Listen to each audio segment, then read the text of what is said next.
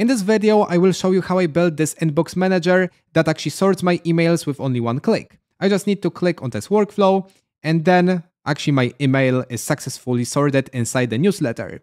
Also, I will have for you the other version that actually sorts your old emails. So for an example, if you have the emails um, in the past, you can sort your entire inbox at once. Because let me tell you something, if you have an inbox that is loaded with many different emails as mine, so for an example, I've got um, over 3000 emails, sometimes it's really hard to sort actually and take these emails that are really important. So you know, I've got a lot of notifications, I've got a lot of newsletters, and there I can miss something out. That's why in this video we'll build this entire project. I will give you the free JSON template and also we'll build it from scratch. So we'll see how it works and again with only one click you can sort your entire inbox and also sort incoming emails whenever like you receive an email um, on your Gmail. And for the simplicity, I included all of the instructions along with the free template to download inside our 100% free community on Skool. So there uh, we've got our core students, there are other people interested in AI, so you can go over to the classroom and click on the inbox manager.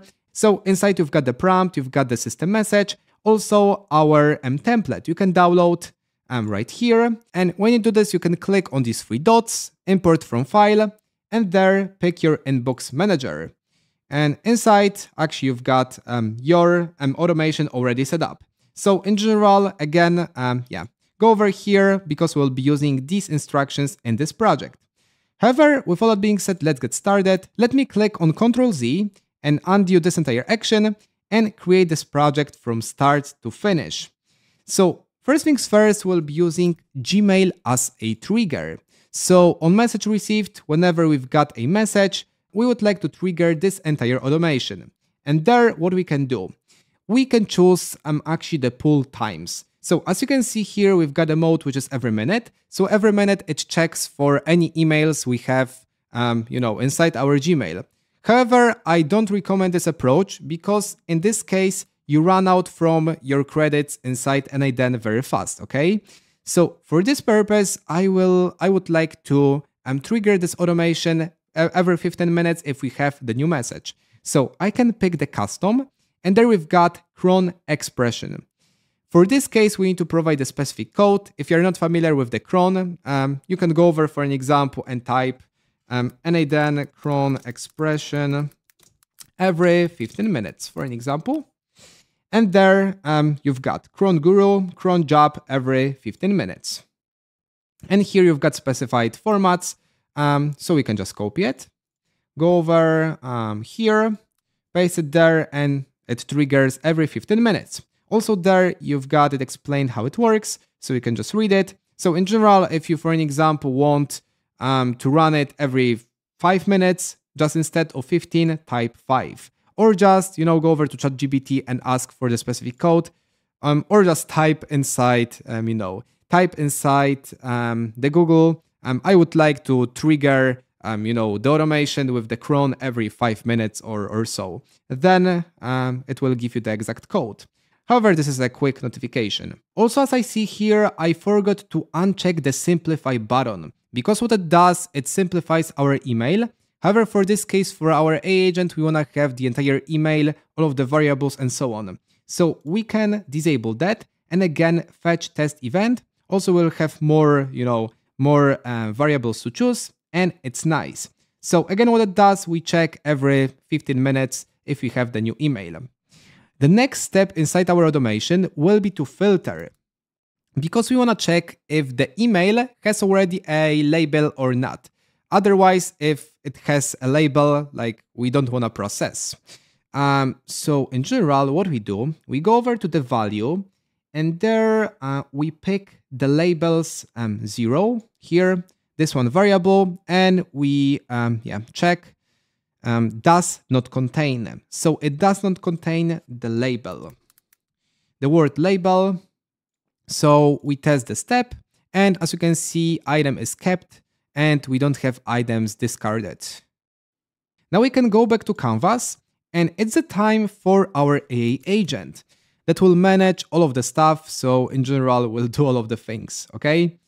And here what we need to do, we need to provide the prompt. We can go over simply to our document here and copy this entire text. So here inside we've got the topic, description, and sender. Um, so in general, we can go over there. Also, when it comes to the subject, um, let me show you. Um, here you've got the subject. So I dragged and dropped this entire um, variable for, um, let me delete it. For the text, um, I have here, where do I have the text? I have here the text. So again, you can simply do this. Um, however, even you can copy that from, um, you know, from our community, um, from our free document. Um, nevertheless, um, it works by this way. So we've got again the topic, description, sender. And what we want to do, we want to add the system message. We want to actually define how this chatbot should behave. So also inside here, we've got our system message and very shortly, I will explain what it does. So let's, um, yeah, move to expression. So your role, you're an intelligent email assistant responsible for sorting incoming messages. Your task is to analyze the content, subject, and sender of each email and assign it to the appropriate category. Categories, categories for sorting. Priority, business, newsletter, administrative, personal notifications, and spam. You can change these categories, okay? You can provide your very own, I don't know, um, I just thought like these categories will be proper. However, again, you can add some categories and later on like modify your entire automation. You can change the names. However, as usual, if you are building this automation together with me, I encourage you to actually do it firstly together with me and then change it. So firstly, you check if it works or not, and then you've got the, you know, point of view how it should work. Nevertheless, we've got the instructions for each email, analyze the content subject and sender, assign it to the appropriate category, add label with the category, if you're unsure, do not um, label the message. Response formats, we've got always return um, the result in JSON format, um, so we just get only, you know, the category. And now what we can do, um, we can go over here and add the model. So let's go over back to Canvas. Um, I'm choosing OpenAI chat model, uh, which is GPT-4o Mini.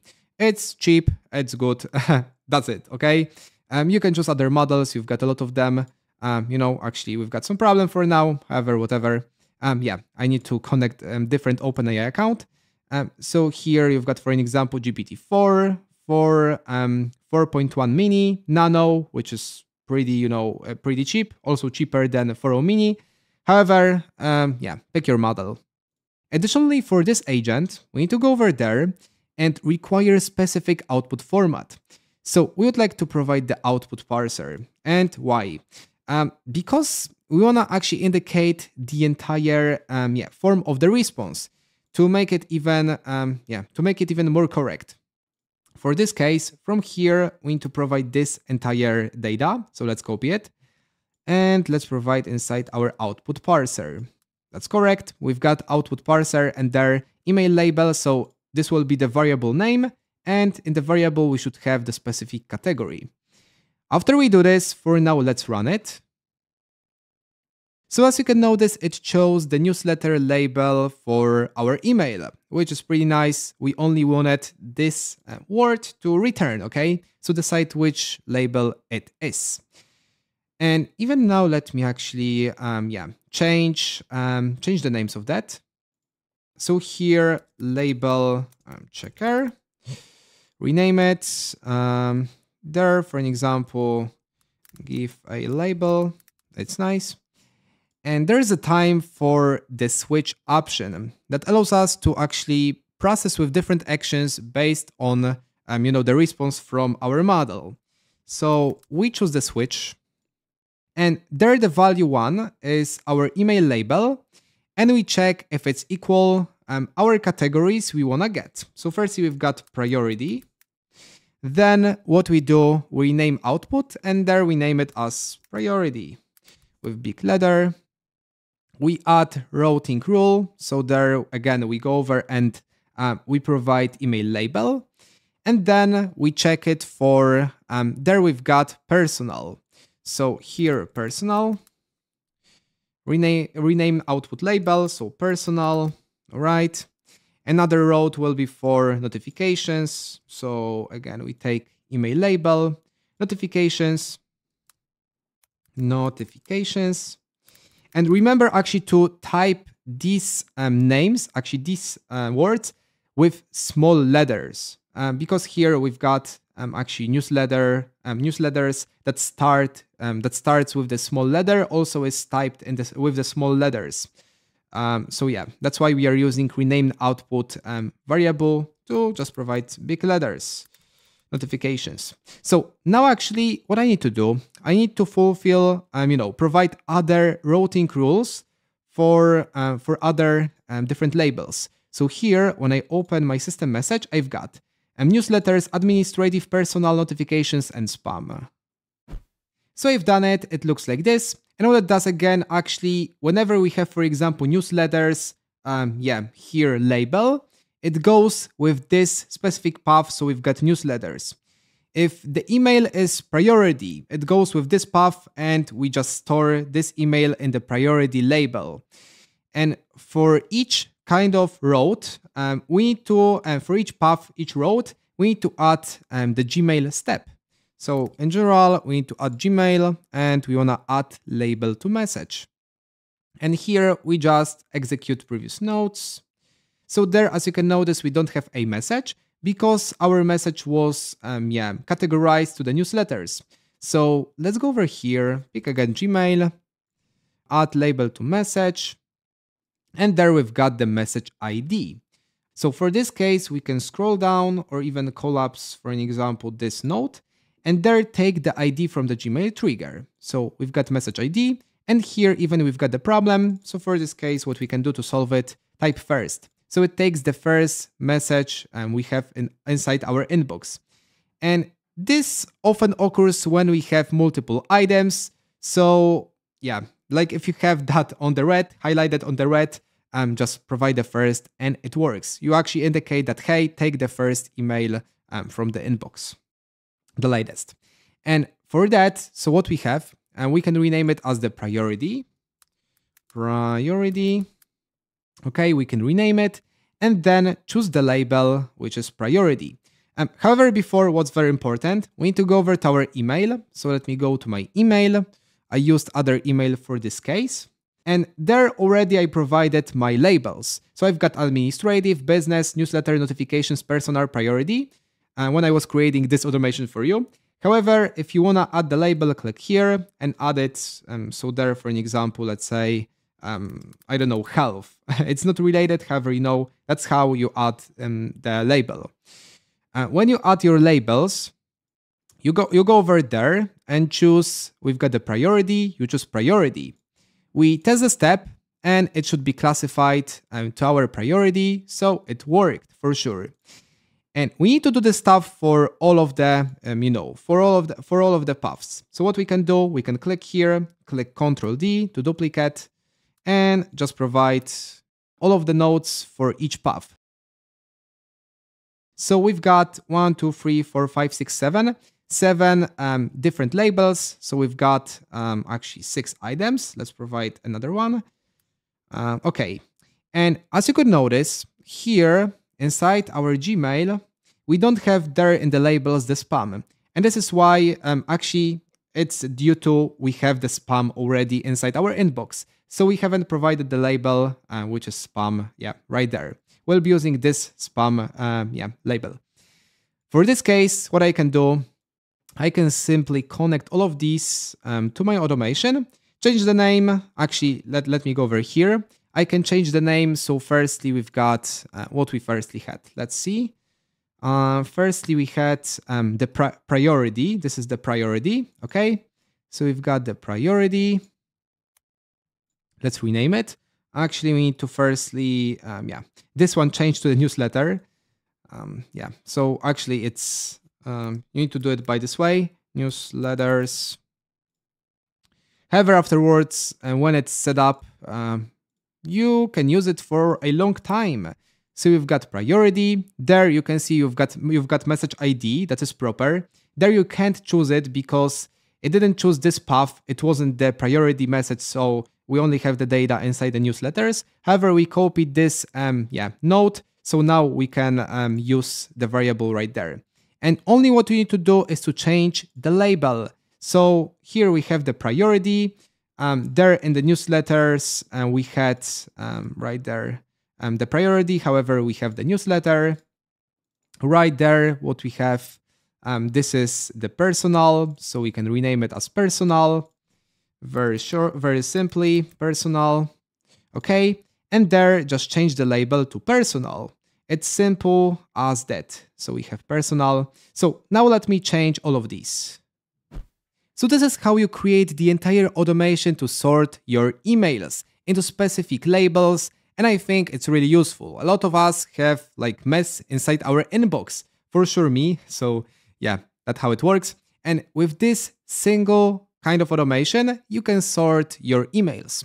However, I said at the beginning and I showed the other automation that sorts your old inbox and old messages.